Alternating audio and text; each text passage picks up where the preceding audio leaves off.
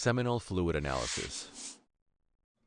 This test is performed if you think you might have a fertility problem or after a vasectomy to determine if the operation was successful. The sample required is a semen sample collected in a sterile, wide-mouthed container provided by the lab, often collected on site. Two separate collections on two separate days may be required.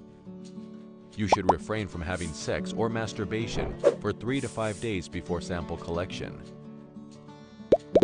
A complete semen analysis measures and evaluates the quantity and quality of the fluid released during ejaculation.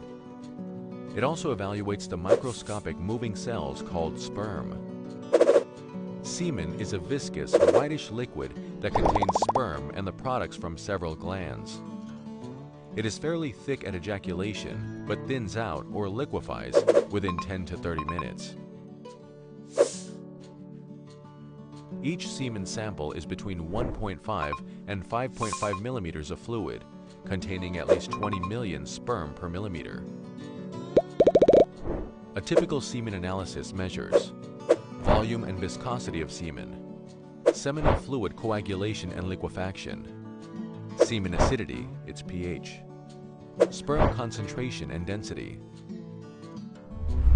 sperm count and its motility, ability to move, number or percent of normal and abnormal, defective, sperm in terms of size and shape, morphology, fructose amount, a sugar in semen that gives energy to sperm, number of white blood cells, if present,